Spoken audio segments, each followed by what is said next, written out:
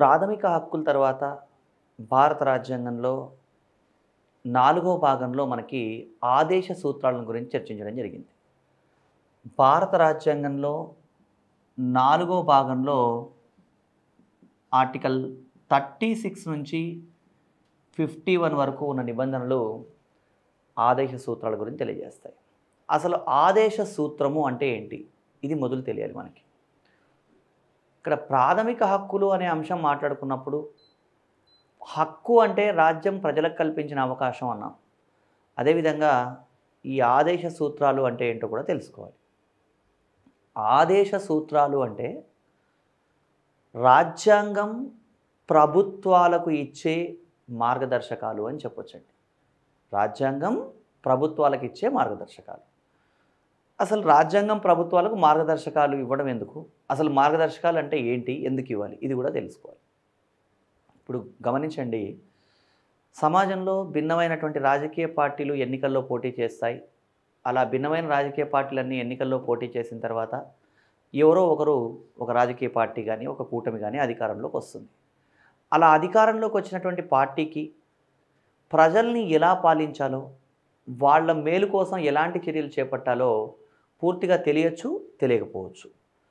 కొన్ని సందర్భాల్లో ఒక రాజకీయ పార్టీ ప్రజా సంక్షేమం కోసం ఎంతో చేయాలని అనుకోవచ్చు కానీ అది ఎలా చేయాలో వాళ్ళకి అర్థం కాకపోయి ఉండొచ్చు లేదా తెలియకపోయి ఉండొచ్చు. ఇలాంటివన్నీ అనేక రకాలైనటువంటి అంశాలు ఉంటాయి కాబట్టి ప్రజా సంక్షేమం కోసం భిన్న అంటే ఇక్కడ అధికారంలోకి వచ్చిన పార్టీ ప్రజా సంక్షేమం కోసం ఏం చేయాలి అని చెబుతూ కొన్ని గైడ్ లైన్స్ ఇవ్వడం జరిగిందండి. వాటినే మనం ఆదేశ సూత్రాలు అంటున్నాం. ఈ ఆదేశ సూత్రాలు మనం ఎక్కడి నుంచి తీసుకున్నాం?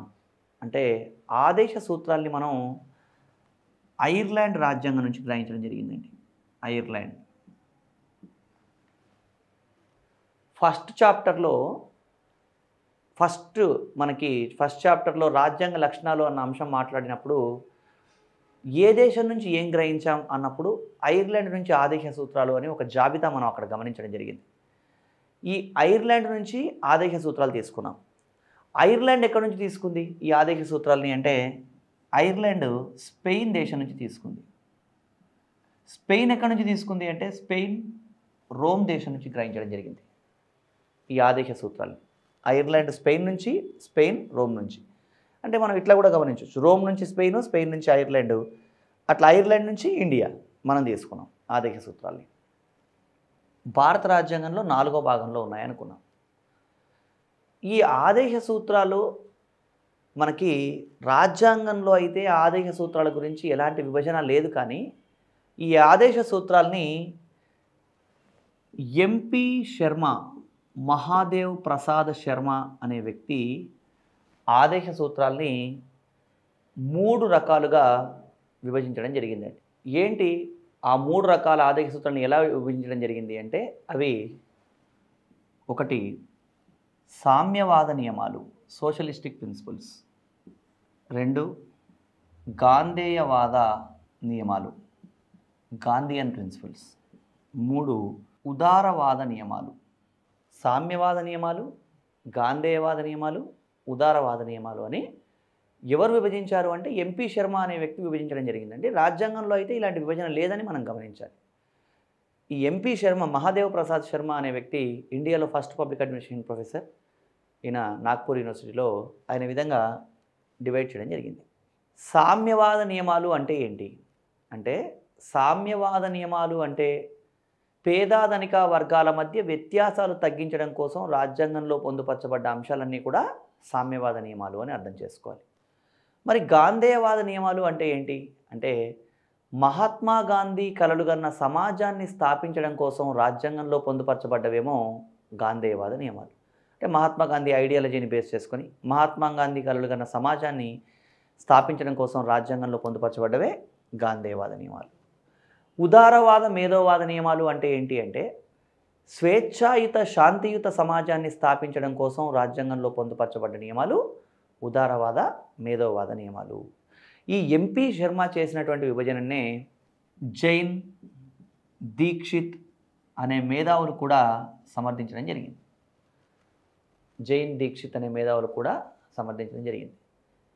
ఈ ఆదేశ సూత్రాలని అంబేద్కర్ ఏమన్నాడు అంటే పంతొమ్మిది వందల ముప్పై ఐదు భారత ప్రభుత్వ చట్టంలో ఉన్నటువంటి ఇన్స్ట్రుమెంట్స్ ఆఫ్ ఇన్స్ట్రక్షన్స్తో పోల్చడం జరిగిందండి. అంటే అవి కూడా ఆదేశ సూత్రాలనే అర్థం ఇండైరెక్ట్గా. అయితే ఇక్కడ గమనించాల్సిన విషయం ఏంటంటే ఆదేశ సూత్రాలు న్యాయసమ్మతమైనవి కావు. ఆదేశ సూత్రాలు న్యాయసమ్మతమైనవి కావు అంటే అర్థం ఏంటంటే మనం ముప్పై ఆరు నుంచి యాభై ఒకటి వరకు ఉన్న నిబంధనల్లో ఏవైతే విషయాలు మాట్లాడుకుంటామో వాటిలో ఏదైనా ఒక అంశానికి భంగం కలిగితే అంటే అది సరిగా అమలు కాకపోతే మనం కోర్టుకెళ్ళి ఎందుకు దీన్ని అమలు చేయట్లేదు అని ప్రశ్నించే అధికారం మనకు లేదు. ఎందుకంటే ఇవి ఒక గైడ్ లైన్స్ లాంటివి మాత్రమే అర్థం చేసుకోవాలి. ఆదేశ సూత్రాలు ప్రభుత్వం యొక్క వనరుల వెసులుబాటును బట్టి మాత్రమే అమలు చేయబడతాయని గమనించాలండి. వనరుల వెసులుబాటు అంటే ఏంటవి? ఏం వనరులు? అంటే ఇవి మనకి త్రీ ఎం అని చెప్తారండి. త్రీ ఎం అని చెప్తారు. ఏంటి ఆ త్రీ ఎం అంటే? ఒకటేమో నెంబర్ వన్ మెన్ మానవ వనరులు. రెండవది మెటీరియల్ వస్తు వనరులు. మనీ డబ్బు. అంటే ఈ ఆదేశ సూత్రాలు అమలు చేయాలంటే మెన్ మెటీరియల్ మనీ మానవ వనరులు వస్తు వనరులు డబ్బు. ఇవి ఉంటే అమలు చేస్తారు లేదంటే లేదు. ఇది ప్రభుత్వం యొక్క కన్వీనియన్స్ ఎందుకంటే ఫర్ ఎగ్జాంపుల్ ఆదేశ సూత్రాల్లో మనకి ఆర్టికల్ ఫార్టీ వన్లో పని హక్కు అని ఉందండి. పని హక్కు అంటే ఏంటి? ప్రతి ఒక్కళ్ళకి పని కల్పించాలని దీని అర్థం. మరి పని హక్కు ఉంది కాబట్టి దేశంలో ప్రతి వ్యక్తికి పని కల్పిస్తున్నామా? అంటే అందరికీ కల్పించాల్సిన అవసరం ఉన్నప్పటికీ కూడా ప్రభుత్వం తన వెసులుబాటు తనకు ఫెసిలిటీ ఉంటే కల్పిస్తుంది లేదంటే లేదు. ఈరోజు మనం గమనించినట్టయితే గ్రామీణ ప్రాంతాల్లో మహాత్మా గాంధీ జాతీయ గ్రామీణ ఉపాధి హామీ పథకం అనే ఒక పథకం ద్వారా గ్రామీణ ప్రాంతాల్లో ఉన్న వాళ్ళకి పని కల్పిస్తున్నారు. మరి పట్టణ ప్రాంతాల్లో ఉన్న వాళ్ళకి అలాంటిది ఏదైనా ఉందా అంటే అలాంటి పథకం ప్రస్తుతం ఏమీ లేదు. ప్రస్తుతం గవర్నమెంట్లు దాని గురించి ఆలోచిస్తూ ఉన్నాయి. అంటే ఇప్పుడు ఫర్ ఎగ్జాంపుల్ ప్రభుత్వం ఈ మహాత్మా గాంధీ జాతీయ గ్రామీణ ఉపాధి హామీ పథకం అనే పథకాన్ని ఎత్తివేసింది అనుకోండి. అంటే ప్రభుత్వం ఇక మేము అమలు చేయలేము మా దగ్గర డబ్బులు లేవని నిలిపివేస్తే మనం కోర్టుకెళ్ళి ఎందుకు మీరు ఈ పథకాన్ని నిలిపివేశారు? దీన్ని ఖచ్చితంగా అమలు చేయండి అని అడిగి మనం ఆ ప్రభుత్వాన్ని కొనసాగించుకునే హక్కు మనకు లేదు. అది ఎందుకంటే ప్రభుత్వం దగ్గర వనరులు ఉంటే అమలు చేస్తారు లేదంటే లేదు. అందుకే ముందు జాగ్రత్తగా దీంట్లో ఆదేశ సూత్రాలు న్యాయసమ్మతమైనవి కావు అని పొందుపరచడం జరిగింది. మనం ఇంతవరకు మాట్లాడుకున్నటువంటి టాపిక్స్లో ప్రవేశిక న్యాయసమ్మతమైనది కాదు. ప్రాథమిక హక్కులు న్యాయసమ్మతమైనవి. అంటే ఇంతకుముందు మాట్లాడుకున్న ప్రాథమిక హక్కుల్లో ఏదైనా ఒక హక్కుకు భంగం కలిగితే మనం కోర్టుకెళ్ళి రక్షణ పొందవచ్చు. కానీ ఆదేశ సూత్రాలు న్యాయసమ్మతమైనవి కావు అంటే వీటిలో ఉన్న అంశాలకి భంగం కలిగితే మనం న్యాయస్థానాలకు వెళ్ళి రక్షించుకోలేము అని గమనించాలి. ఇంకొక విషయం ఏంటంటే ఆదేశ సూత్రాలు గురించి సామ్యవాద గాంధేయవాద ఉదారవాద నియమాలని ఎంపీ శర్మ డివైడ్ చేయడం జరిగింది. అయితే ఒకే అంశము ఒక సందర్భంలో సామ్యవాద నియమము కావచ్చు మరొక సందర్భంలో గాంధేయవాద నియమము కావచ్చు. అంటే అభ్యర్థులు ఈ టాపిక్ చదువుకునేటప్పుడు కానీ దీని గురించి మాట్లాడుకునేటప్పుడు ఒక ఆర్టికల్ సామ్యవాదలో వచ్చింది మళ్ళీ అది గాంధేయవాదలో ఎందుకు వచ్చింది అని కన్ఫ్యూజ్ అవ్వకూడదు. ఎందుకంటే ఒకే సందర్భంలో ఒక ఆర్టికల్ రెండు చోట్ల రావచ్చు. అంటే ఒక ఒక వ్యక్తి ఉన్నాడు అనుకోండి క్లాస్ రూమ్లో ఉన్నప్పుడు అతను ఒక విద్యార్థిగా ఉంటాడు. అదే సినిమా థియేటర్కి వెళ్తే అక్కడ ఒక ప్రేక్షకుడిగా ఉంటాడు. మరి నువ్వు స్టూడెంట్ కదా ఇప్పుడు నువ్వు సినిమా ఎందుకు చూస్తున్నావు అంటే క్లాస్ రూమ్లో ఉన్నప్పుడు స్టూడెంట్ సినిమా థియేటర్లో ఉన్నప్పుడు అతను ఒక ప్రేక్షకుడు. అలాగే ఒకే వ్యక్తికి భిన్నమైనటువంటి సందర్భాల్లో భిన్నమైన రూపాలు ఎలా ఉంటాయో ఈ ఆదేశ సూత్రాలు కూడా అలాగే ఒకసారి అది ఒకే ఆర్టికల్ సామ్యవాద నియమము గాంధేయవాద నియమము అలా కూడా అవడానికి అవకాశం ఉంది. ఇది మనం గమనించాలి. ఇక ఈ ఆదేశ సూత్రాల్లో ఉన్నటువంటి అంశాలన్నీ కూడా ఒక్కొక్క అంశం గురించి మనం డీటెయిల్డ్గా తెలుసుకోవాలి. ఆదేశ సూత్రాల గురించి ఆర్టికల్ థర్టీ సిక్స్ నుంచి ఫిఫ్టీ వన్ వరకు ఉన్న నిబంధనలు అనుకున్నాం. ఆర్టికల్ థర్టీ సిక్స్ ఏం చెప్తోంది? ఆదేశ సూత్రాల్లో అంటే రాజ్యం నిర్వచనం. రాజ్యం నిర్వచనం. డెఫినేషన్ ఆఫ్ ద స్టేట్ ఇక్కడ రాజ్యం నిర్వచనం అన్న అంశం మనకి ఆర్టికల్ పన్నెండులో కూడా వస్తుంది. ఆర్టికల్ పన్నెండులో ప్రాథమిక హక్కుల గురించి మాట్లాడేటప్పుడు అక్కడ కూడా రాజ్యం నిర్వచనం అనే అంశం ఉంది. మరి అక్కడ రాజ్యం నిర్వచనం అనే అంశం ఉంది ఇక్కడ రాజ్యం నిర్వచనం అనే అంశం ఉంది. రెండు సార్లు ఎందుకు రాజ్యం నిర్వచనం చెప్పడం అంటే ఒక వ్యక్తి ప్రతి రాజ్యాంగంలో ఉన్న ప్రతి అంశము చదువుకోవాల్సి నేను తెలుసుకోవాల్సిన అవసరం ఒక వ్యక్తికి ఉండకపోవచ్చు. ఇప్పుడు ఆదేశ సూత్రాల గురించి తెలుసుకోవాలనుకున్నప్పుడు అతను ఆదేశ సూత్రాలను అర్థం చేసుకోవాలంటే రాజ్య నిర్వచనం తెలిసి ఉండాలి కాబట్టి మళ్ళీ సపరేట్గా ఆర్టికల్ థర్టీ సిక్స్లో రాజ్యం నిర్వచనం అనే అంశం మళ్ళీ ఇవ్వడం జరిగింది. ఈ రాజ్యం నిర్వచనం అనేది ఏంటి దీంట్లో? ఏం చెప్పడం జరిగింది అంటే ఆర్టికల్ పన్నెండులో ఉన్న విషయమే యథాతథంగా మళ్ళీ ఇక్కడ చెప్పడం జరిగింది. అంటే రాజ్యం ప్రభుత్వం అంటే ఏంటి అంటే ఇక్కడ కేంద్ర రాష్ట్ర స్థానిక ప్రభుత్వాలు అదేవిధంగా పార్లమెంటు రాష్ట్ర సంస్థలు చేసిన చ- చట్టాలు ఇవన్నీ కూడా రాజ్యం పరిధిలోకి వస్తాయని. ఇక్కడ కూడా సేమ్ అండి. ఆర్టికల్ పన్నెండులో ఉన్న రాజ్యం నిర్వచనం ఆర్టికల్ ముప్పై ఆరులో ఉన్న రాజ్యం నిర్వచనం రెండు ఒకటే అని గమనించాలి. Next article thirty seven. Article thirty seven ఏం చెప్తుంది అంటే ఆదేశ సూత్రాలు న్యాయసమ్మతమైనవి కావు. Directive principles of state policy are non justiciable ఆదేశ సూత్రాలు న్యాయసమ్మతమైనవి కావు అని చెప్పడం జరిగిందండి. అంటే రాజ్యాంగబద్ధంగా చెప్తే మళ్ళీ దానికి ఒక స్పష్టత ఉంటుందనే ఉద్దేశంతో ఈ విధంగా చెప్పడం జరిగింది. ఇక ఈ అంశాల నుంచి ఇక మనం ఒక్కొక్క ఆర్టికల్లో ఒక్కొక్క విషయం గురించి మాట్లాడుకోవడం జరిగింది. ఒక్కొక్కటి గమనించాలి. ఆర్టికల్ థర్టీ ఎయిట్ ఏం చెప్తుంది అంటే ఆదేశ సూత్రాల లక్ష్యం సామ్యవాద సమాజ స్థాపన.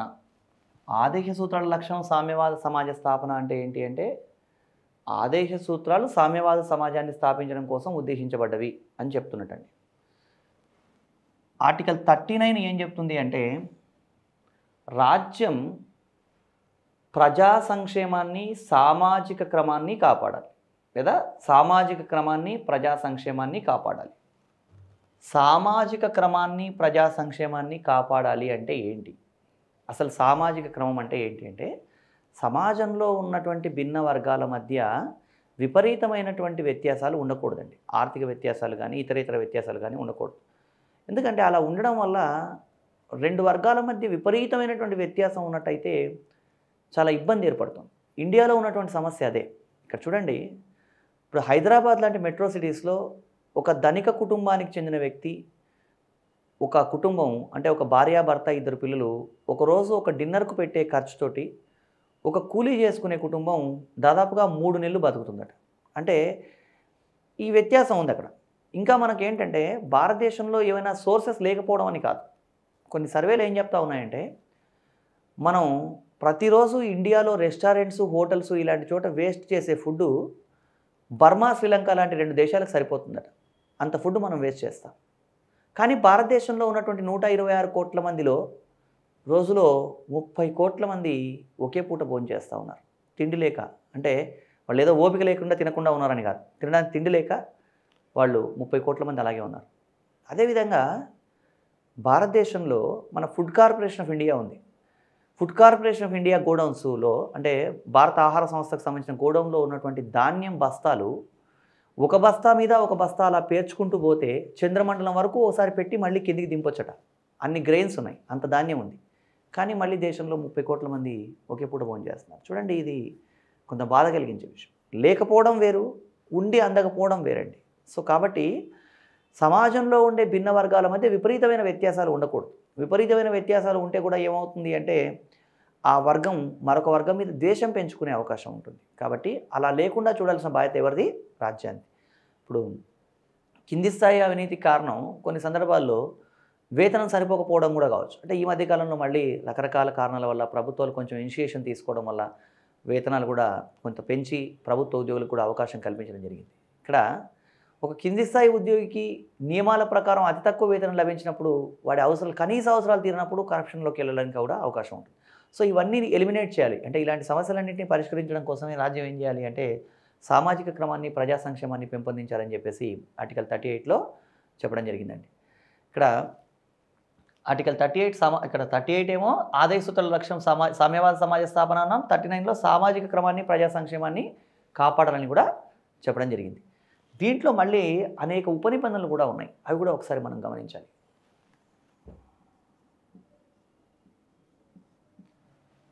Thirty nine small A.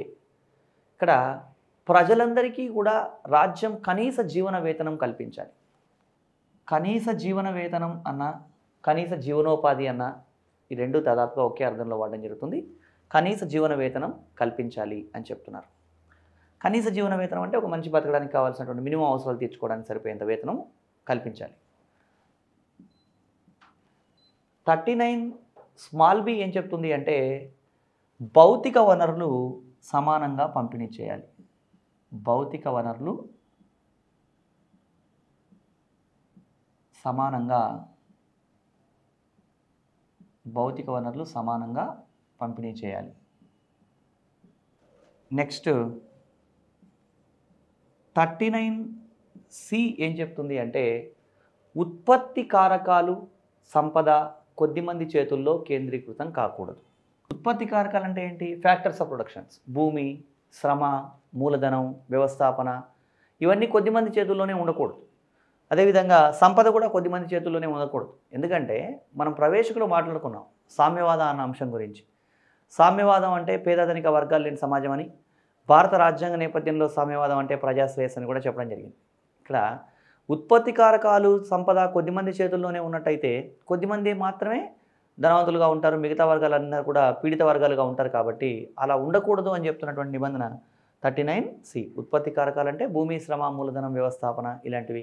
అదేవిధంగా సంపద అంటే మనకు తెలుసు. సంపద ఏ రూపంలో ఉన్నా సరే ఇవి కొద్దిమంది చేతుల్లోనే కేంద్రీకృతం కాకూడదని చెప్పడం జరిగింది. ఈ థర్టీ నైన్ సి తర్వాత next thirty nine small D. ఇక్కడ గమనించండి లెటర్స్ క్యాపిటల్ లెటర్స్ ఉంటే క్యాపిటల్ లెటరే స్మాల్ లెటర్ ఉంటే స్మాల్ లెటర్ అనేది జాగ్రత్త ఇక్కడ స్మాల్ లెటర్స్ ఉన్నాయంటే ఏదైనా ఒక సందర్భంలో మళ్ళీ క్యాపిటల్ ఉండొచ్చు అని అర్థం. ఇక్కడ రాజ్యాంగంలో మాట వరుసకి అనేది ఉండదండి. ఏదైనా ఉంటే అది అక్యురేట్గా ఉంటుంది. స్మాల్ ఏ ఉంటే స్మాల్ ఏ క్యాపిటల్ ఏ ఉంటే క్యాపిటల్ ఏ ఏది ఉంటే అది అని గమనించాలి. ఇక్కడ థర్టీ నైన్ డి ఏం చెప్తుంది? స్మాల్ డి అంటే దీంట్లో సమానమైన పనికి సమాన వేతనం కల్పించాలి. సమాన పనికి సమాన వేతనం అంటే ఎవరికి సమాన పనికి సమాన వేతనం కల్పించాలి అంటే స్త్రీ పురుషులకి. ఒక పని మహిళలు చేసినా పురుషులు చేసినా అది పని పనే కాబట్టి ఇద్దరికీ సమాన వేతనం కల్పించాలి. ఈ సమాన పనికి సమాన వేతనం అన్న అంశం మనకి ఆర్గనైజ్డ్ సెక్టార్లో ఉంది. అంటే ఇప్పుడు ఒక లెక్చరర్ ఉన్నాడు. ఒక మహిళా లెక్చరర్కి అయితే ఒక జీతం ఒక పురుష లెక్చరర్కి అయితే ఒక జీతం ఇట్లాంటివి ఉండవు. ఏదైనా సరే ప్రభుత్వంలో పనిచేసే వాళ్ళకందరికీ మహిళనా పురుషుడు అనే దానితో సంబంధం లేకుండా వేతనాలు ఉంటాయి అదే అనార్గనైజ్డ్ సెక్టార్ ఉంది. అంటే ఇప్పుడు కూలీ పని చేసుకునే వాళ్ళు ఉన్నారు. అంటే ఒక పురుషుడికి లభించే కూలీ కన్నా ఒక మహిళకు తక్కువ కూలీ లభిస్తుంది. అంటే మనం దీనికి పారామీటర్ పురుషులు ఎక్కువ పని చేస్తారు మహిళలు తక్కువ పని చేస్తారు అని హండ్రెడ్ పర్సెంట్ చెప్పలేం. పురుషులు అందరూ సమానమైన పని చేస్తారా మరి? అంటే ఒక పది మంది పురుషులను తీసుకుంటే అందరూ ఒక మెజర్మెంట్ ప్రకారమే పని చేస్తారా అంటే అలా కూడా చెప్పలేం. కాబట్టి ఇక్కడ సమానమైన పనికి సమాన వేతనం కల్పించాలి అని చెప్తున్న నిబంధన థర్టీ నైన్ డి. ఇవి అత్యంత ముఖ్యమైనటువంటి అంశాలు. దేనికి సంబంధించి అంటే ఆర్టికల్ థర్టీ నైన్లో అంతర్భాగంగా ఇవి అత్యంత ముఖ్యమైనటువంటి అంశాలు అని మనం గమనించాలి. దీంట్లో మళ్ళీ థర్టీ నైన్ సిరీస్లో థర్టీ నైన్ క్యాపిటల్ ఏ కూడా ఉంది. థర్టీ నైన్ క్యాపిటల్ ఏ ఏం చెప్తోంది అంటే పేదలకు ఉచిత న్యాయ సహాయం అందించాలి. ఇవి ముఖ్యమైనవండి. గ్రూప్ టూ నేపథ్యంలో లేదా ఒక ఆబ్జెక్టివ్ టైప్ ఎగ్జామినేషన్కి సంబంధించి వీటి మీద మనకు గతంలో ప్రశ్నలు అడగడం జరిగింది. కాబట్టి ఇవన్నీ కూడా ఆర్టికల్ థర్టీ నైన్లో ఉన్న అంశాలని గమనించాలి. నెక్స్ట్ రాజ్యాంగంలో ఉన్నటువంటి ఆర్టికల్ ఫార్టీ అండి. మొత్తం ఆదేశ సూత్రాల్లో అంటే ముప్పై ఆరు నుంచి యాభై ఒకటి వరకు ఉన్న నిబంధనలు అన్నింట్లోనూ ఇంపార్టెంట్ ఆర్టికల్ ఏంటి అంటే ఆర్టికల్ ఫార్టీ. ఈ ఆర్టికల్ ఫార్టీలో ఏం చెప్పడం జరిగింది అంటే గ్రామ పంచాయతీలను ఏర్పాటు చేసి వాటిని స్వయం పాలనా యూనిట్లుగా అభివృద్ధి చేయాలి అని చెప్పడం జరిగింది.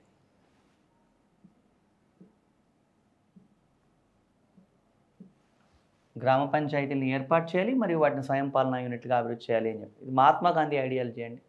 ఇక్కడ నేను చెప్పేప్పుడు మీకు అన్ని ఒకే వరుస క్రమంలో చెప్తాను చెప్పడం జరుగుతుంది. కొన్ని దీంట్లో సామ్యవాద గాంధేయవాద ఉదారవాద నియమాలు అవుతాయి. ఎగ్జామ్లో ఇది ఏది కింది వానిలో ఏది గాంధేయవాద నియమం ఏది ఉదారవాద నియమం అని గతంలో ఎప్పుడూ అడగలేదు కాబట్టి. సో మొత్తం మనం గమనించాలి. ఇక్కడ ఆర్టికల్ ఫార్టీ ఏం చెప్తుందంటే గ్రామ పంచాయతీలను ఏర్పాటు చేసి వాటిని స్వయం పాలనా యూనిట్లుగా అభివృద్ధి చేయాలి అని చెప్తున్నారు అంటే ప్రతి గ్రామం గ్రామ పంచాయతీ ఏర్పాటు చేయాలి. ఇవన్నీ కూడా మళ్ళీ మనకి ఈ టాపిక్ సంబంధించి దీంట్లో ఇంకా కూలంకుషంగా ఒక వివరణ మనకి మూడవ చాప్టర్లో ఉన్నటువంటి స్థానిక ప్రభుత్వాలు అనే చాప్టర్లో వస్తుంది.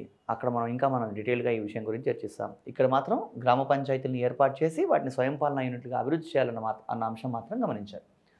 Next article forty one article forty one ఏం చెప్తుంది అంటే పని హక్కు కల్పించాలి. పని హక్కు. ఈ పని హక్కులో మళ్ళీ అనేక అంశాలు ఉంటాయి. దేశంలో ఉండే పౌరులందరికీ కూడా పని హక్కు కల్పించాలి. పని హక్కు కల్పించలేకపోతే రాజ్యం ఏం చేయాలి? అంటే నిరుద్యోగ వృత్తి ఇవ్వాలి. అంటే ఒక వ్యక్తి ఎవరన్నా సరే ఒక క్వాలిఫికేషన్ కలిగిన వ్యక్తి ఒక పని చేయడంగా సిద్ధంగా ఉన్నప్పుడు ఆ పని అతనికి లభించకపోతే నిరుద్యోగ వృత్తి కూడా ఇవ్వాలి. చాలామంది ఏమనుకుంటారంటే ఒక వ్యక్తి నిరుద్యోగి అంటే చదువుకొని ఉద్యోగం లేకపోతే అతను నిరుద్యోగి అనుకుంటారు. నిరుద్యోగి అంటే చదువుకున్నవాడు మాత్రమే నిరుద్యోగి అని కాదండి ఇక్కడ. ఒక పని చేయడానికి సిద్ధంగా ఉండి అతనికి పని లభించకపోతే వాడు నిరుద్యోగి. చదువుకొని వాడు కూడా ఉద్యోగం లభించలేదంటే నిరుద్యోగి అవ్వచ్చు. కాబట్టి ఇక్కడ ప్రతి ఒక్కరికి ఏం చేయాలి రాజ్యం అంటే పని హక్కు కల్పించాలి. ఒకవేళ పని హక్కు ఇవ్వలేకపోతే నిరుద్యోగ భృతి ఇవ్వాలి. కేరళ తమిళనాడు లాంటి రాష్ట్రాల్లో నిరుద్యోగ భృతి కూడా ఇస్తారు. అంటే వాళ్ళకి నెలకు ఒక వెయ్యి రూపాయలు ఆర్థిక సహాయం ఉద్యోగం చదువుకుని ఉద్యోగం లేకుండా ఉన్న వాళ్ళకి ఒక వెయ్యి రూపాయలు నెల వాళ్ళకి ఏదో చిన్న అవసరాలన్నా ఉంటాయనే ఉద్దేశంతో ఇస్తారు. అట్లా జీవితాంతం ఇస్తారని కాదు. వాళ్ళకి ఏం చేస్తుంది ప్రభుత్వం అంటే ఒక పని చూయించే వరకు అట్లా ఇస్తారు. ఆ పని చేయడానికి ఆ వ్యక్తులు సిద్ధంగా ఉంటే వాళ్ళు ఆ పనిలో జాయిన్ అవ్వచ్చు. ఒకవేళ వాళ్ళు సిద్ధంగా లేరు అని అనుకుంటే మళ్ళీ వాళ్ళ నిరుద్యోగ వృత్తిని నిలిపివేయడం జరుగుతుంది. సో ఈ విధంగా నిరుద్యోగ వృత్తి ఇవ్వచ్చు. అంటే పని హక్కు కల్పించాలి. కల్పించలేని పరిస్థితుల్లో నిరుద్యోగ వృత్తి ఇవ్వాలి. కానీ దేశంలో ఉండే ప్రతి వ్యక్తి పని చేయడానికి సిద్ధంగా ఉంటాడని మనం చెప్పలేం. అంటే ఫర్ ఎగ్జాంపుల్ వృద్ధులు ఉంటారు లేదా వికలాంగులు ఉంటారు ఇలాంటి వ్యక్తులు పని చేయలేకపోవచ్చు. వృద్ధులకి వృద్ధాప్య పెన్షన్లు ఇవ్వాలి రాజ్యం. వృద్ధాప్య పెన్షన్ ఇచ్చి వాళ్ళకి వాళ్ళకి మినిమం అవసరాలు సంతృప్తిపరచుకునేందుకు అవకాశం కల్పించాలి. అదేవిధంగా వికలాంగులకు వికలాంగులు అనే పదం ఈ మధ్యలో మనం వాడట్లేదండి. వి- వికలాంగులు అనే పదాన్ని ప్రత్యేక అవసరాలు కలిగిన వ్యక్తులు అని మార్చడం జరిగింది. గమనించాలి ఈ విషయం. ఇలా ఇటువంటివన్నీ కూడా మనకి ఆర్టికల్ ఫార్టీ వన్లో పని హక్కు రూపంలో ఉన్నాయి. ఈరోజు ఈ పని హక్కును అమలు చేయడం కోసమే మనం మహాత్మా గాంధీ జాతీయ గ్రామీణ ఉపాధి హామీ పథకం అనేటువంటి పథకం గ్రామీణ స్థాయిలో పని హక్కును సంతృప్తిపరుస్తోంది. ఇది ఆర్టికల్ ఫార్టీ వన్ పని హక్కుకు సంబంధించినటువంటి అంశం. నెక్స్ట్ ఆర్టికల్ ఫార్టీ టూ ఏం చెప్తుంది అంటే శ్రామికుల ఆరోగ్యాన్ని కాపాడాలి. అదేవిధంగా మహిళలకు ఉచిత ప్రసూతి సౌకర్యాలు కల్పించాలి. ప్రతి ఆర్టికల్లో అనేక అంశాలు ఉంటాయి. అత్యంత ముఖ్యమైన విషయాన్ని మాత్రమే మనం ఫోకస్గా తెలుసుకోవాల్సి ఉంటుంది. మహిళలకు ఉచిత ప్రసూతి సౌకర్యాలు కల్పించాలి. Free maternity relief. ఈ ఉచిత ప్రసూతి సౌకర్యాలు కల్పించడం అనేది అవసరం అండి రాజ్యం. ఎందుకంటే ప్రసవ సమయంలో మహిళలు ఇబ్బంది పడకుండా ఉండాలి కాబట్టి ఒక కనీస అవసరంగా రాజ్యం అవకాశాలు కల్పించాలి. దీనికి సంబంధించి మనకి అనేక రకాల చట్టాలు ఉన్నాయి నైన్టీన్ సిక్స్టీ వన్లో చేసినటువంటి మాతృత్వ ప్రయోజనాల చట్టం మ్యాటర్నిటీ రిలీఫ్ యాక్ట్ ప్రకారం ఒక మహిళకి గవర్నమెంట్ హాస్పిటల్లో కనుక డెలివరీ అయినట్టయితే ఆ రోజు అవసరాల కోసం ప్రభుత్వం ఒక వెయ్యి రూపాయలు చెల్లించడం జరుగుతుంది. అదేవిధంగా మనకి గవర్నమెంట్ సర్వీస్లో ఉన్నటువంటి మహిళలకి అంటే స్టేట్ సర్వీస్లో ఉన్న మహిళలు అయితే వాళ్ళ మొత్తం సర్వీస్ పీరియడ్లో రెండు సార్లు వాళ్ళకి మ్యాటర్నిటీ లీవ్ కూడా ఇస్తున్నారు. ఆరు నెలలు ఆరు నెలలు రెండు సార్లు ఈ మ్యాటర్నిటీ లీవ్ ఇస్తారు. ఈ మ్యాటర్నిటీ లీవ్ అనేది వేతనంతో కూడిన సెలవు. అదేవిధంగా రెండు వేల ఐదులో ఏర్పాటు చేసినటువంటి వీరప్ప మొయిలి కమిషన్ ఏం చెప్పింది అంటే రెండవ పాలనా సంస్కరణ సంఘం అంటాం దీన్ని. రెండవ పాలనా సంస్కరణ సంఘం అన్న వీరప్ప మొయిలి కమిటీ అన్న ఒకటే. Veerappa Moily committee maternity leave అనేది ఆరు నెలల నుంచి రెండు సంవత్సరాలకు పెంచాలని చెప్పడం జరిగింది. ఆరు నెలల నుంచి రెండు సంవత్సరాలకు మ్యాటర్నిటీ లీవ్ పెంచడం అనేది సమంజసమేనా? మరి వేతనంతో కూడితే వాళ్ళకి రెండు సంవత్సరాలు లీవ్ ఇవ్వడం సమంజసం అంటే కొన్ని సందర్భాల్లో అంత అవసరం లేదన్నట్టుగా ప్రజలు కనిపించవచ్చు కానీ ఇక్కడ ఏమవుతుంది అంటే ఒకవేళ కనుక ప్రాపర్ పేరెంటింగ్ లేకపోతే సరైనటువంటి పేరెంటింగ్ లేదనుకోండి అలాంటప్పుడు కలాం కావాల్సిన వ్యక్తి ఒకడు కసబ్ అయ్యే అవకాశం ఉంది. అంటే ప్రాపర్ పేరెంటింగ్ లేకపోతే పిల్లలు సంఘ విద్రోహ శక్తులుగా కూడా మారే అవకాశం ఉంది కాబట్టి అలాంటి సూచనలు చేయడం జరిగిందని మనం గమనించాలి. ఎందుకంటే ఏదైనా ఒక కమిటీ ఒక సూచన చేసినప్పుడు వాళ్ళకు ఒక హేతుబద్ధత వాళ్ళకు ఒక కారణం ఉండి ఉంటుంది. ఇండియాలో చాలా విషయాలు మనం అర్థం చేసుకోవాల్సిన విషయం ఏంటంటే పేరెంటింగ్ అనేది ఒక సబ్జెక్ట్ కాదు. అంటే పిల్లల్ని ఎలా పెంచాలి? ఇలాంటి విషయాలు ఎక్కడా కూడా మనకి ఒక సబ్జెక్ట్ రూపంలో ఉండవు. కానీ చాలామందికి ఏంటంటే ఈ విషయం తెలియకుండానే వాళ్ళే పేరెంట్స్ అయిపోతూ ఉన్నారు. కానీ ఈ ప్రాపర్ పేరెంటింగ్ లేకపోవడం వల్ల తర్వాతి రోజుల్లో వచ్చే వ్యక్తులు సమాజంలోకి వాళ్ళే కదా. ఈరోజు పిల్లలుగా ఉన్న వాళ్ళు రేపు సమాజంలో భావి పౌరులుగా మారిన తర్వాత వాళ్ళు బాధ్యతయుతమైన పౌరులుగా ఉండలేకపోతున్నారు. ఇంకోటి ఏంటంటే ఈ పేరెంటింగ్ అనేటువంటిది విషయం కూడా ఒక ఒక సిస్టమేటిక్ పేరెంటింగ్ అనేది ఉండాలండి. దానివల్ల సమాజం బాగుపడుతుంది పిల్లలు కూడా బాగుపడతారు. ఇక్కడ ఇప్పుడు చూడండి ఒక రెండు రెండున్నర సంవత్సరాల పిల్లోడు కనుక అల్లరి చేస్తా ఉన్నప్పుడు ఏమంటారంటే నువ్వు ఎక్కువ అల్లరి చేస్తే నేను స్కూల్కి పంపిస్తామంటారు పేరెంట్స్. అలా వంద సార్లు అని వింటారు వాడికి మూడు సంవత్సరాలు వచ్చేవారు. ఒకరోజు మళ్ళీ వాడికి బ్యాగ్ వేసి స్కూల్కి తీసుకెళ్ళమంటారు. ఈరోజు స్కూల్కి వెళ్దాంపా అంటే వాడు ఏడుస్తాడు. ఎందుకంటే వంద సార్లు వాడిని భయపెట్టాం మనమే. నువ్వు అల్లరి చేస్తే స్కూల్కి పంపిస్తాం అల్లరి చేస్తే స్కూల్కి పంపిస్తాం. ఇప్పుడు మళ్ళీ పొమ్మంటే ఎలా వెళ్తాడు? అంటే ప్రాపర్ పేరెంటింగ్ లేకపోవడం. సో ఇవన్నీ కూడా చాలా గుర్తించదగ్గ విషయాలు. మరి మనకి రాజ్యాంగం ప్రకారం వీటి గురించి ఎక్కువ మాట్లాడే అవకాశం లేదు కానీ జస్ట్ ఇక్కడ ఆర్టికల్ ఫార్టీ టూ మహిళలకు ఉచిత ప్రసూతి సౌకర్యాలు కల్పించాలి అని మాత్రం తెలియజేయడం జరుగుతుంది. నెక్స్ట్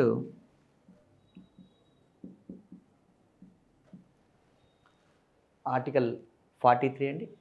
దీంట్లో ఆర్టికల్ ఫార్టీ త్రీలో ఏం చెప్పడం జరిగిందంటే కార్మికులను దోపిడీ గురి కాకుండా రక్షించాల్సిన అవసరం ఉంది. కార్మిక దోపిడీని నివారించాలని చెప్తున్నారు. ఇది కార్మిక దోపిడీని నివారించాలన్నదేమో ఒక సామ్యవాద నియమంగా చెప్పొచ్చు. అదేవిధంగా దీన్నే మనం ఇంకా ఏం చెప్పొచ్చు అంటే గ్రామీణ ప్రాంతాల్లో కుటీర పరిశ్రమల ఏర్పాటు కూడా చెప్పొచ్చు. అంటే రెండు అంశాలు దీంట్లోనే ఉంటాయి. అంటే ఇక్కడ శ్రామిక దోపిడీ నివారణ దాంతోపాటు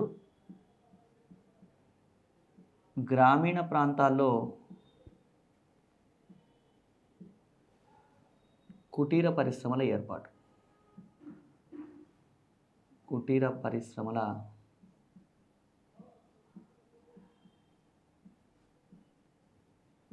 ఏర్పాటు. ఇది ఆర్టికల్ ఫార్టీ త్రీ అండి. ఇవి మనకి కొన్ని ఆదేశ సూత్రాలు. Next article forty four article forty ఫోర్లో మనకి common civil code common civil code అన్న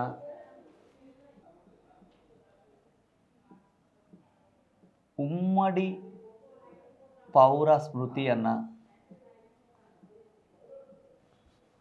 అదేవిధంగా యూనిఫామ్ సివిల్ కోడ్ అన్న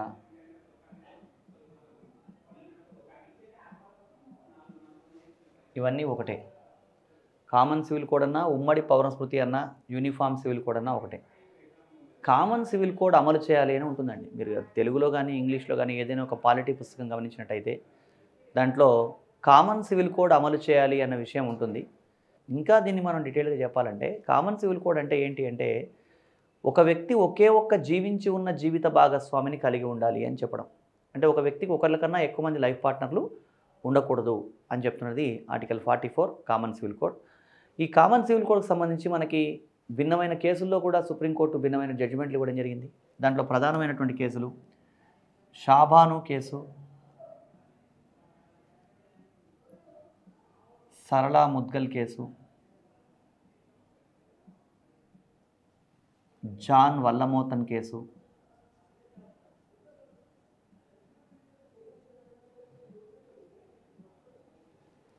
ఈ కేసుల్లో కామన్ సివిల్ కోడ్ని ఇంప్లిమెంట్ చేయండి. కామన్ సివిల్ కోడ్ను భారతదేశంలో అమలు చేయండి అని చెప్పేసి సుప్రీంకోర్టు భారత ప్రభుత్వాన్ని ఆదేశించింది.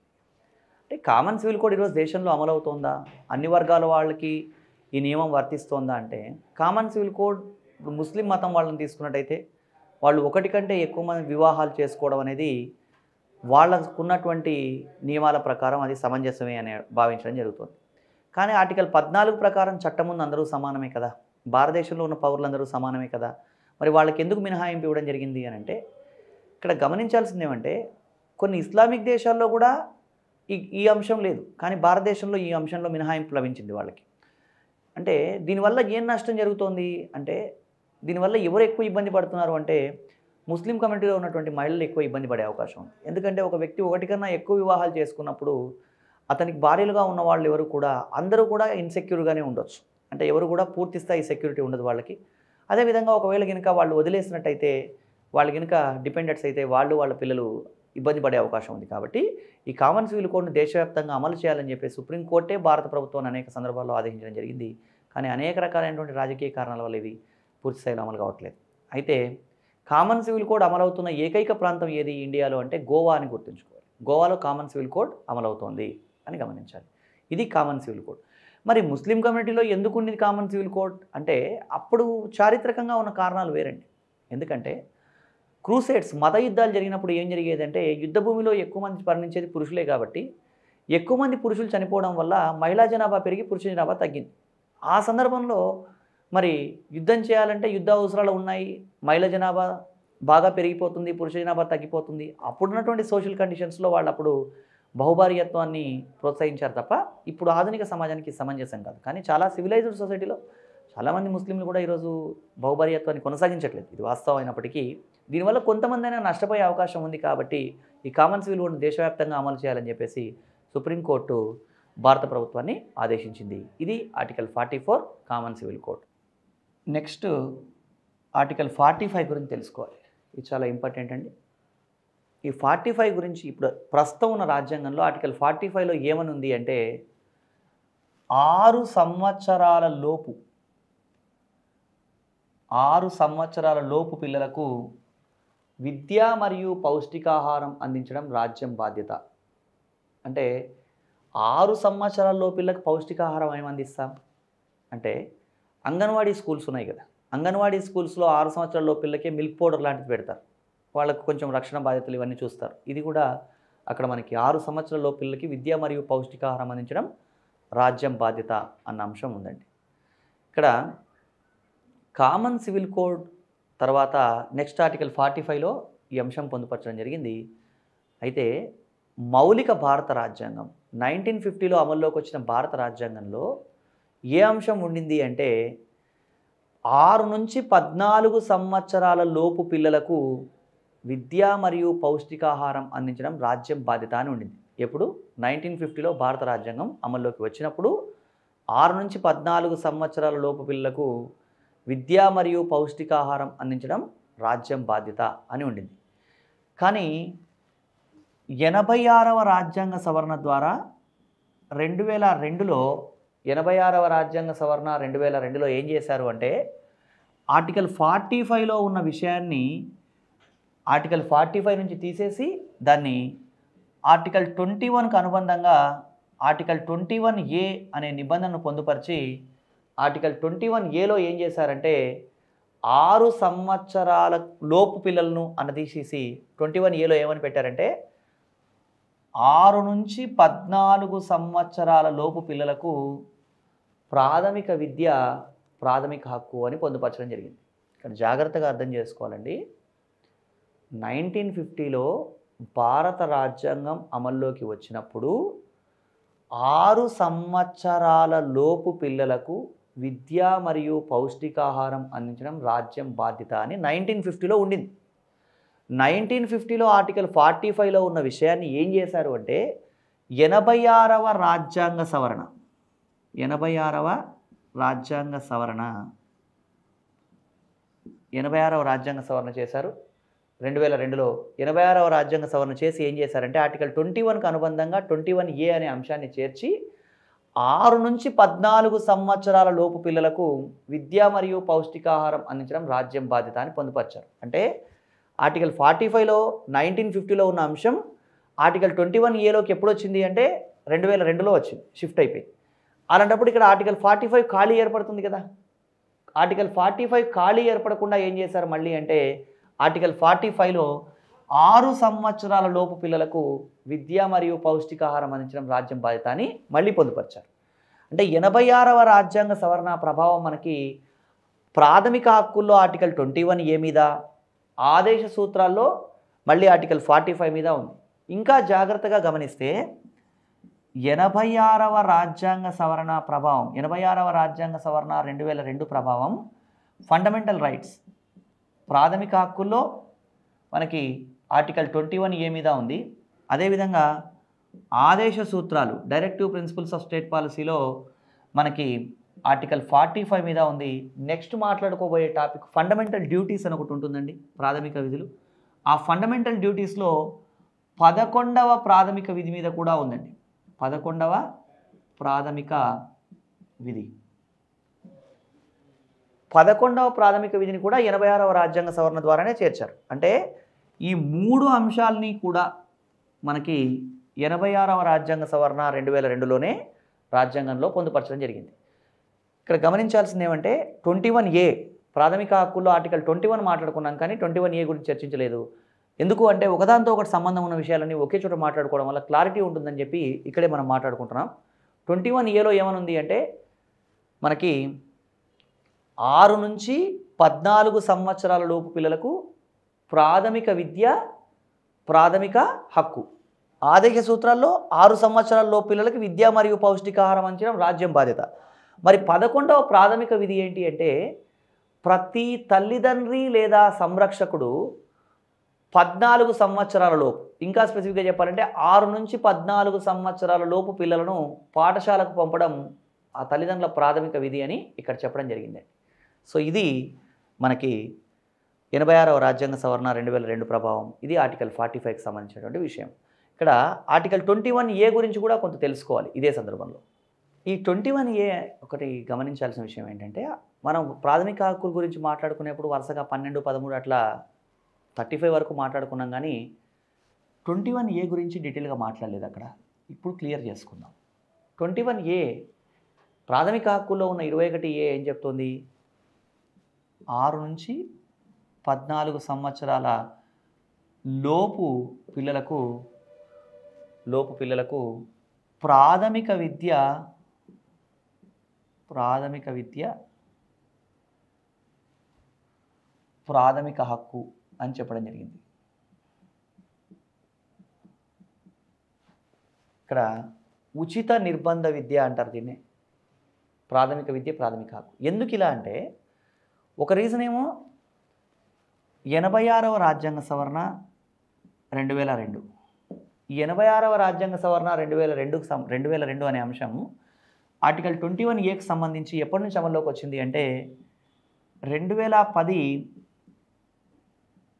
ఏప్రిల్ ఒకటో తారీఖు నుంచి విద్యా హక్కు చట్టం అమల్లోకి వచ్చిందండి. విద్యా హక్కు చట్టం అంటే ఆర్టీఈ. ఆర్టీఐ కాదండి ఇది. రైట్ టు ఇన్ఫర్మేషన్ కాదు. రైట్ టు ఎడ్యుకేషన్ విద్యా హక్కు చట్టం మనకి రెండు వేల పది ఏప్రిల్ ఒకటి నుంచి అమల్లోకి వచ్చింది. మన రెండు వేల పదిహేను ఏప్రిల్ ఒకటి నాటికి ఐదు సంవత్సరాలు పూర్తవడం జరిగింది. ఏది? ఈ విద్యా హక్కు చట్టం అమల్లోకి వచ్చి. దీనికి సంబంధించి కొన్ని కేసులు కూడా ఉన్నాయి మనకి.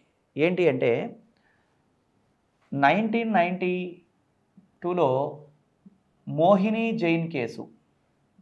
మోహిని జైన్ కేసు లేదా Mohini Jain versus Karnataka case. Mohini Jain case లేదా మోహిని జైన్ వర్సెస్ కర్ణాటక కేసులో ఏం చెప్పడం జరిగింది అంటే ఉన్నత విద్య కూడా ప్రాథమిక హక్కే. ఇప్పుడు కేసుల గురించి ఎగ్జామ్లో ప్రశ్న అడిగేటప్పుడు అడుగుతున్నాడండి ఏ కేసులో ఉన్నత విద్య ప్రాథమిక హక్కు అని చెప్పడం జరిగింది? అంటే నైన్టీన్ నైంటీ టూలో మోహిని జైన్ వర్సెస్ కర్ణాటక కేసులో ఉన్నత విద్య కూడా ప్రాథమిక హక్కే అని చెప్పడం జరిగింది. కానీ మళ్ళీ జడ్జిమెంట్ మార్చి నైన్టీన్ నైంటీ త్రీలో ఉన్ని కృష్ణన్ వర్సెస్ ఆంధ్రప్రదేశ్ రాష్ట్రం కేసులో ప్రాథమిక విద్య మాత్రమే ప్రాథమిక హక్కు అని చెప్పడం జరిగిందండి. దీని మీద ప్రశ్నలు అడగవచ్చు ఉన్నత విద్య కూడా ప్రాథమిక హక్కే అని చెప్పిన కేసు ఏది? అంటే మోహిని జైన్ కేసు. ప్రాథమిక విద్య మాత్రమే ప్రాథమిక హక్కు అని చెప్పిన కేసు ఏది? అంటే ఉన్ని కృష్ణన్ వర్సెస్ ఆంధ్రప్రదేశ్ కేసు. ప్రాథమిక విద్య ప్రాథమిక హక్కుగా ఎప్పటి నుంచి అమల్లోకి వచ్చింది అంటే రెండు వేల పది ఏప్రిల్ ఒకటి. ఎనభై ఆరవ రాజ్యాంగ సవరణ ఎప్పుడు చేశారు అంటే రెండు వేల రెండు. ఇలాంటివన్నీ కూడా జాగ్రత్తగా అర్థం చేసుకోవాలి. మనం ఆర్టికల్ ఫార్టీ ఫైవ్ దానికి అనుబంధంగా ఉన్నటువంటి ట్వంటీ వన్ ఏ అన్నీ ఒకేసారి ఇక్కడ చర్చించడం జరిగింది. నెక్స్ట్ ఆర్టికల్ ఫార్టీ ఫైవ్ తర్వాత ఆర్టికల్ ఫార్టీ సిక్స్ అండి. ఆర్టికల్ ఫార్టీ సిక్స్ ఏం చెప్తుంది అంటే ఎస్సీ ఎస్టీ మరియు బలహీన వర్గాల వారిని దోపిడీకి గురి కాకుండా చూడాలి. అదేవిధంగా సామాజిక అన్యాయానికి గురి కాకుండా రక్షించాలి అని చెప్తుంది. ఇది ఆర్టికల్ ఫార్టీ సిక్స్ అంటే ఎస్సీ ఎస్టీ బలహీన వర్గాల వాళ్ళని ఎవరు ఎక్స్ప్లాయిట్ చేయకుండా కాపాడాల్సిన బాధ్యత రాజ్యానికి ఉంది. అంటే వాళ్ళు మోసపోయే అవకాశం ఉంది. తప్పుడు సమాచారం ద్వారానో ఎవరైనా మభ్యపెట్టడం వలన మరి ఏదైనా కారణం చేత వాళ్ళని ఎవరైనా మోసం చేస్తూ ఉంటే దాన్ని అరికట్టాల్సిన బాధ్యత రాజ్యాందని ఆర్టికల్ ఫార్టీ సిక్స్లో చెప్పడం జరిగింది. నెక్స్ట్ ఆర్టికల్ ఫార్టీ సెవెన్ ఏం చెప్తుంది అంటే మత్తు పదార్థాలు. మత్తు పదార్థాలు కమ మత్తు పానీయాలు నిషేధం నిషేధించాలి.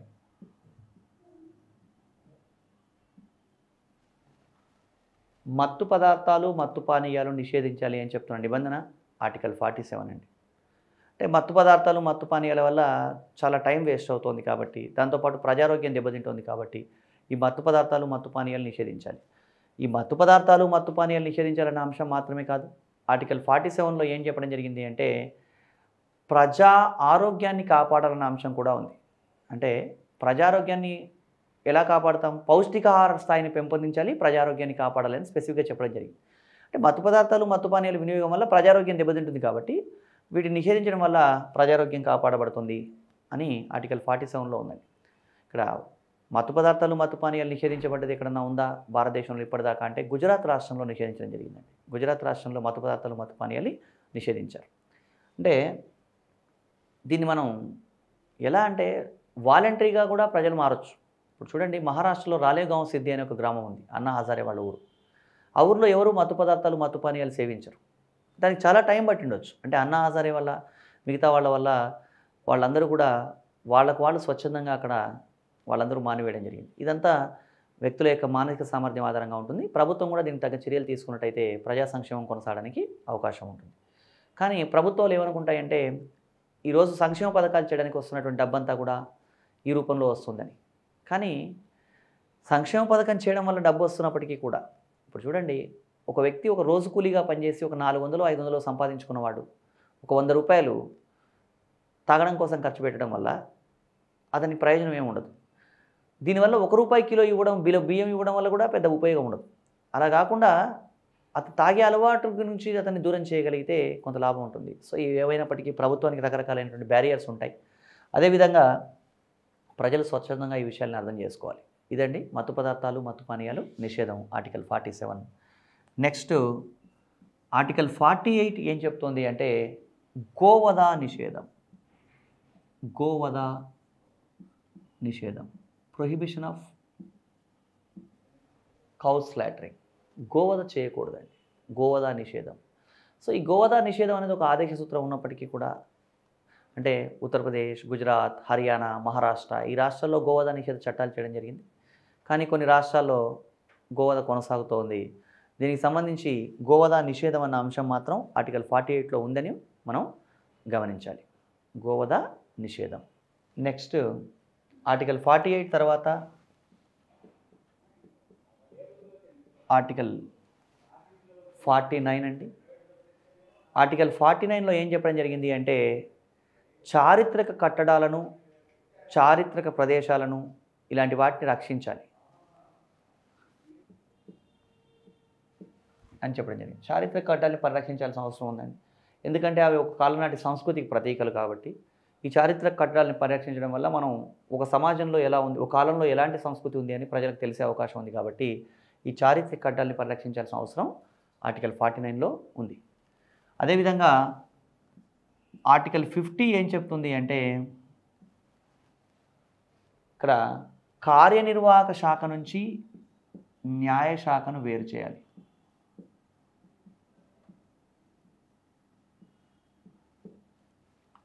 ఇది కార్యనిర్వాహక శాఖ నుంచి న్యాయశాఖను వేర్చడం జరిగింది.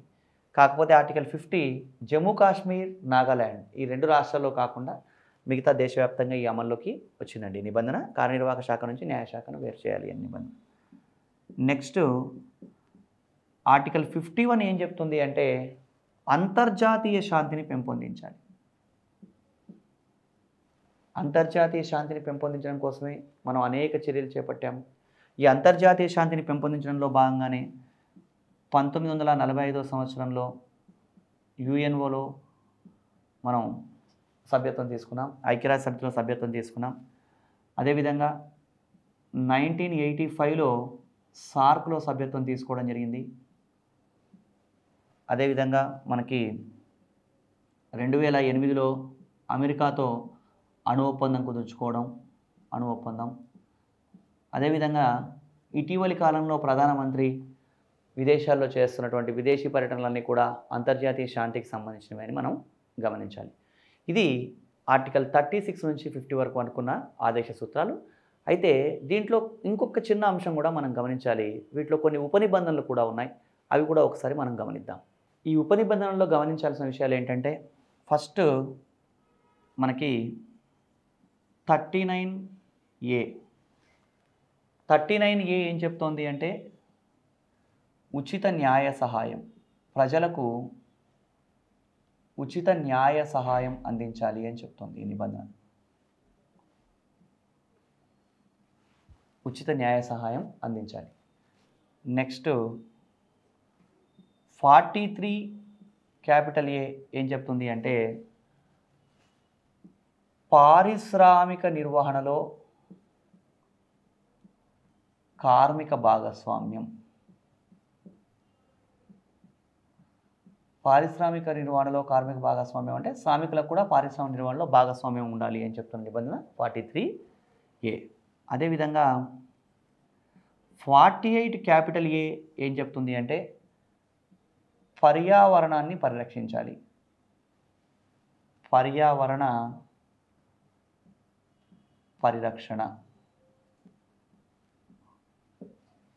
ఇవి మనకు ఉపనిబంధనలు అంటే important ఉపనిబంధనలు. Thirty nine A forty three A తర్వాత ఫార్టీ ఎయిట్ ఏ. ఇవన్నీ ఆదేశ సూత్రాలు. ఈ ఆదేశ సూత్రాల్లో ఇంకొక విషయం ఏంటంటే ఈ భిన్నమైనటువంటి ఆదేశ సూత్రాలని గురించి భిన్నమైనటువంటి మేధావులు వాళ్ళ వాళ్ళ అభిప్రాయాలను వ్యక్తం చేయడం జరిగింది. ఎవరు ఏమన్నారు అని కూడా ఎగ్జామ్లో అడగడానికి అవకాశం ఉంది కాబట్టి ఆ స్టేట్మెంట్స్ కూడా ఒకసారి మనం గమనించాలి. ఈ ఆదేశ సూత్రాలని గురించి భిన్నమైన మేధావులు వాళ్ళ వాళ్ళ అభిప్రాయాలను వ్యక్తం చేయడం జరిగిందండి. దాంట్లో ఎవరేమన్నారు అనేది కూడా మనం గమనిద్దాం. ఇక్కడ ఆదేశ సూత్రాల గురించి వ్యాఖ్యానిస్తూ ఒక వ్యక్తి ఎంసీ చాంగ్లా అనే వ్యక్తి ఏమంటాడంటే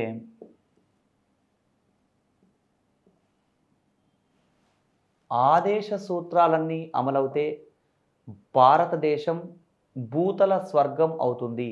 ఇది ఎంసి చాంగ్లా అభిప్రాయం అండి. అంటే ఈ ఆదేశ సూత్రాలన్నీ అమలవుతే భారతదేశం ఎలా మారిపోతుంది అన్నాడు అంటే భూతల స్వర్గం. అంటే భూమి మీదే ఒక స్వర్గం ఏర్పడుతుంది అని ఈయన అభిప్రాయం వ్యక్తం చేయడం జరిగింది. అంటే కదా? ఇప్పుడు చూడండి మత్తు పదార్థాలు లేవు పని హక్కు ఉంది ఉపాధి ఉంది ఎవరికి ఎలా ఎలాంటి ఇబ్బందులు లేవు అలాంటప్పుడు భారతదేశం భూతల స్వర్గం అవుతుంది అని. కానీ ప్రాక్టికల్గా ఇవన్నీ అమలు అవ్వాలి అమలు అవుతే భూతల స్వర్గం అవుతుంది అన్నది ఎంసీ చాంగ్లా అభిప్రాయం అండి. అదేవిధంగా నసీరుద్దీన్.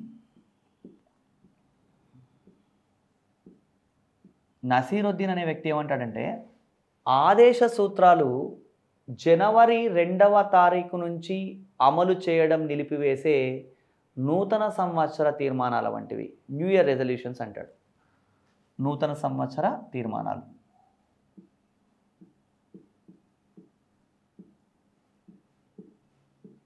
ఇక్కడ ఒక కీవర్డ్ గుర్తుంచుకుంటే సరిపోతుందండి. నూతన సంవత్సర తీర్మానాలు. అంటే జనవరి రెండవ తారీఖు నుంచి అమలు చేయడం నిలిపివేసే నూతన సంవత్సర తీర్మానాలు అంటే ఏంటి అంటే ప్రతి సంవత్సరం జనవరిలో ఎన్నో చేయాలనుకుని ఎన్నో ప్లాన్లు చేసి మళ్ళీ రెండో తారీఖు నుంచి అవన్నీ మామూలే. రొటీన్గా అయిపోతుంది. అంతర్జాతీయ సర్వేలు కూడా ఏం చెప్తున్నాయంటే జనవరి ఫస్ట్ వీక్లో మార్నింగ్ వాక్స్ బాగా పెరుగుతాయట. అదేవిధంగా జనవరి ఫస్ట్ వీక్లో సిగరెట్ అమ్మకాలు విపరీతంగా పడిపోతాయట. మళ్ళీ తర్వాత నుంచి మామూలు అయిపోతాయి. అంటే ఇది తాత్కాలికమైనటువంటివి అనే ధోరణిలో నసిరుద్దీన్ ఏమన్నాడు అంటే ఆదేశ సూత్రాలు జనవరి రెండవ తారీఖు నుంచి అమలు చేయడం నిలిపివేసే నూతన సంవత్సర తీర్మానాలు అనే అభిప్రాయాన్ని వ్యక్తం చేయడం జరిగిందండి. ఇక దీనికి సంబంధించి టిటి కృష్ణమాచారి టిటి కృష్ణమాచారి ఏమన్నాడు అంటే ఆదేశ సూత్రాలు చెత్తబుట్టకు పరిమితమైన ప్రజల భావోద్వేగాలు అన్నాడండి. ఆదేశ సూత్రాలు చెత్తబుట్టకు పరిమితమైన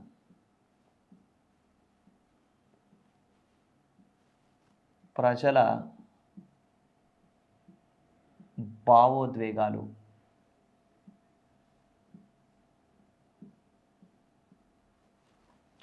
ఈయన అభిప్రాయం చెత్తబుట్టకు పరిమితమైన ప్రజల భావోద్వేగాలను ఎందుకన్నాడంటే ఇవి కరెక్ట్ అయిన ప్లేస్లో లేవని బహుశా అయిన ఉద్దేశం అయి ఉంటుందండి. అంటే మూడో భాగంలో లేవు నాలుగో భాగంలో ఉన్నాయి. అంటే ఆదాయ సూత్రాలు న్యాయసమ్మతమైనవి కావు కాబట్టి. అంటే ఇవి ఎంత మంచివైనా సరే ఇవి అమలు చేయకపోతే మనం ప్రశ్నించే అవకాశం లేదు కాబట్టి ఇవి చెత్తబుట్టకే పరిమితమైనటువంటి ప్రజల భావోద్వేగాలు అని చెప్పేసి ఈ అభిప్రాయాన్ని వ్యక్తం చేయడం జరిగిందండి. ఇట్లా భిన్నమైనటువంటి అభి వ్యక్తులు భిన్నమైనటువంటి అభిప్రాయాలను వ్యక్తం చేయడం జరిగింది. ఇక్కడ సంతానం అనే వ్యక్తి ఏమన్నాడంటే ఆదేశ సూత్రాలు రాజ్యాంగ వివాదాలకు కారణమవుతాయన్న అభిప్రాయాన్ని వ్యక్తం చేయడం జరిగింది.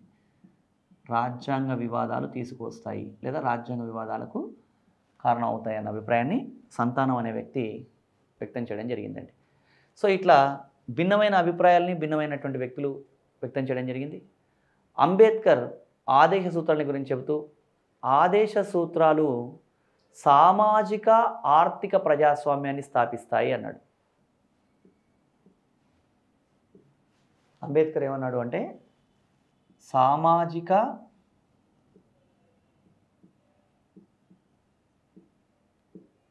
ఆర్థిక ప్రజాస్వామ్యాన్ని స్థాపిస్తాయి.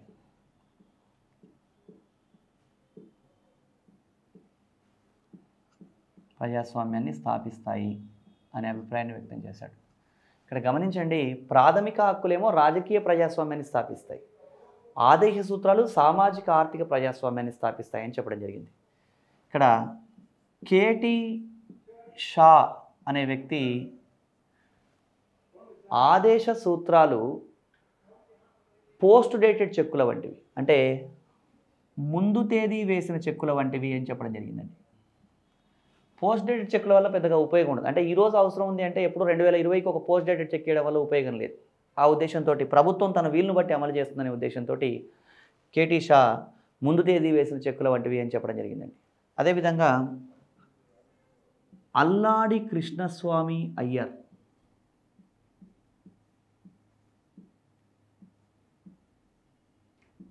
అల్లాడి కృష్ణస్వామి అయ్యర్ ఈయన ఏమన్నాడంటే ఆదేశ సూత్రాలను జ్ఞా అంటే ఆదేశ సూత్రాన్ని గురించి వ్యాఖ్యానిస్తూ ఈ ఆదేశ సూత్రాలని ప్రజలకు బాధ్యత వహించే ఏ ప్రభుత్వం విస్మరించలేదు అని చెప్పడం జరిగిందండి. ప్రజలకు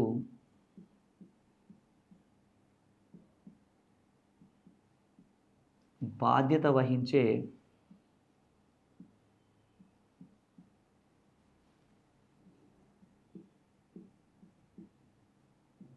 ఏ ప్రభుత్వం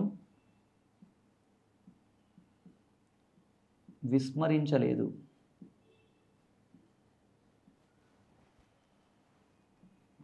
ప్రజలకు బాధ్యత వహించే ఏ ప్రభుత్వము ఈ ఆదేశ సూత్రాల్ని విస్మరించడానికి అంటే నెగ్లెక్ట్ చేయడానికి అవకాశం లేదని చెప్పారు ఇక్కడ ప్రజా సంక్షేమంతో పాటు ప్రభుత్వాలు కూడా ఏ రాజకీయ పార్టీ అయినా అధికారంలోకి వచ్చిన తర్వాత మళ్ళీ మళ్ళీ అధికారంలోకి రావాలనుకుంటారు కాబట్టి అలా విస్మరించడానికి అవకాశం లేదు అని చెప్పేసి ఇలాంటి అభిప్రాయాలు వ్యక్తం చేయడం జరిగిందండి. అదేవిధంగా ఎల్ఎం సింఘ్వి అనే వ్యక్తి ఏమన్నాడంటే ఆదేశ సూత్రాలు భారత రాజ్యాంగానికి ప్రాణం వంటివి అన్న అభిప్రాయం వ్యక్తం చేయడం జరిగింది. ప్రాణం వంటివి. ఇక్కడ అన్నింటి గురించి ఆదేశ సూత్రాల గురించి భిన్నమైన వ్యాఖ్యానాలు అండి ఎవరేమన్నారు అని. దీని మీద ఒక స్టేట్మెంట్ ఇచ్చి పలానా స్టేట్మెంట్ ఇచ్చి ఈ స్టేట్మెంట్ ఎవరన్నారు అని అడుగుతాడు. అంటే ఆదేశ సూత్రాలన్నీ అమలవుతే భారతదేశం భూతల స్వర్గం అవుతుంది అని వ్యాఖ్యానించిన వారు ఎవరు అని ప్రశ్న ఇవ్వచ్చు. అలాంటప్పుడు ఇవన్నీ మనం ఒకసారి చూసుకున్నట్టయితే గుర్తుంచుకున్నట్టయితే ఎవరు ఏ అభిప్రాయం వ్యక్తం చేశారు అనేది మనం గమనించవచ్చండి ఇది ఓవరాల్గా ఆదేశ సూత్రాలు నాలుగో భాగంలో ముప్పై ఆరు నుంచి యాభై ఒకటి వరకు ఉన్న అంశాలండి. గ్రూప్ టూ లాంటి ఎగ్జామినేషన్లో ఆబ్జెక్ట్ టైప్ ఎగ్జామినేషన్లో ముఖ్యంగా గ్రూప్ టూలో ఈ టాపిక్ నుంచి రెండు నుంచి మూడు మార్కులు రావడానికి అవకాశం ఉంది.